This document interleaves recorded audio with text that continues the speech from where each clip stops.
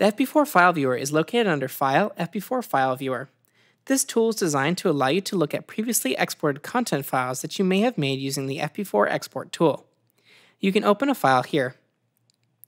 Once it's open, you can play, move through the frame, pause, etc. here. Here you can see the blanking of the frame, the points in the frame. Thank you for watching our Quick Hints video on the FB4 File Viewer window inside of QuickShow. If you still need help, you can contact our support line by emailing support at pangolin.com and we'll help you as soon as possible.